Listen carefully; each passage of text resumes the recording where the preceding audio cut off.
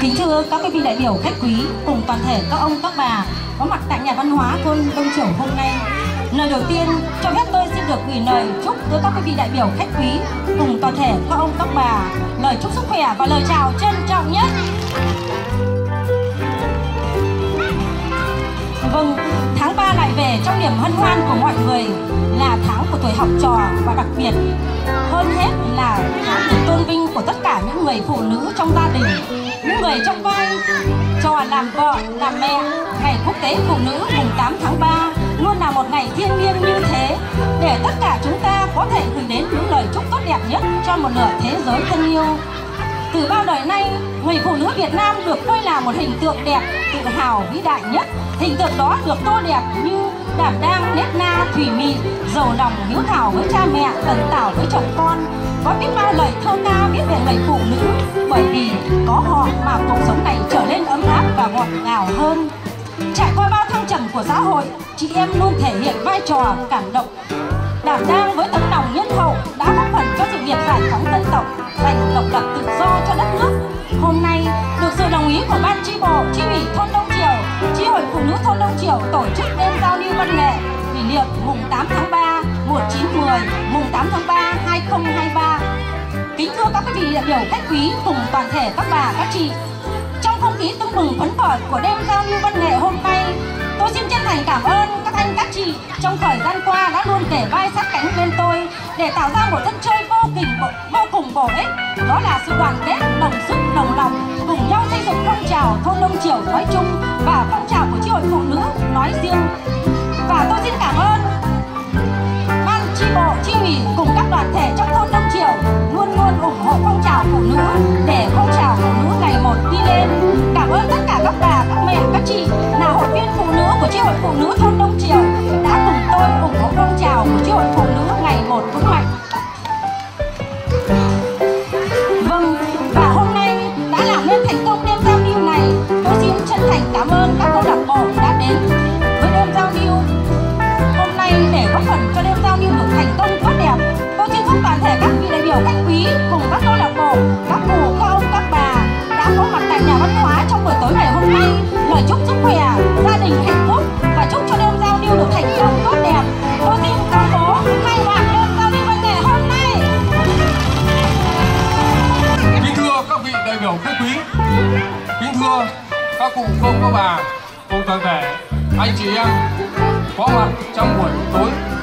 văn nghệ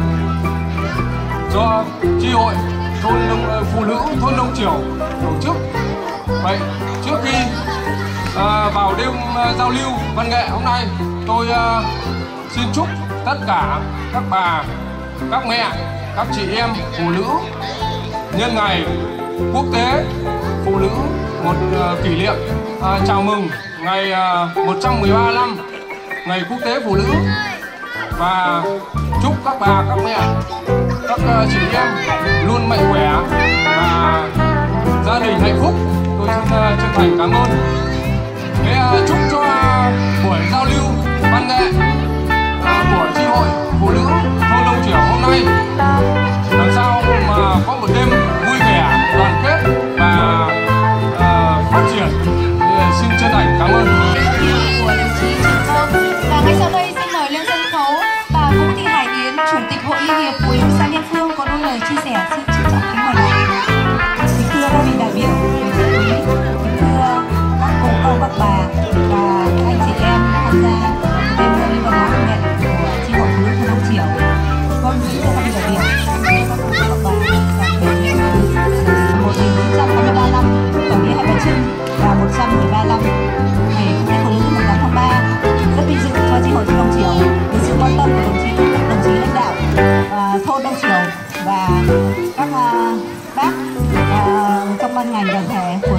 Của để ờ, cùng nhau ờ, ủng hộ cho phong trào phụ nữ của tri hội. Tôi thay mặt tổ phụ nữ xã Đông Phương xin trân trọng được cảm ơn tất cả các đồng chí lãnh đạo của thôn và cũng rất kính mong các ờ, đồng chí thường xuyên quan tâm đến chị em phụ nữ của thôn để góp cho chị em phụ nữ trong thôn có một cái phong trào xây dựng tri chi hội ngày một mạnh cũng là góp phần cho xã Liên mạnh hơn và một lần nữa tôi ờ, xin được ờ, kính chúc vị đại biểu và chúc cho ờ, tri hội phụ nữ thôn đồng triệu tổ chức đêm giao lưu văn hóa văn nghệ thành công tốt đẹp. Xin trân trọng cảm ơn. Sẻ đến chủ tịch hội liên hiệp phụ nữ xã liên phương kính thưa quý vị và các bạn, đến với đêm giao lưu văn nghệ của chúng ta.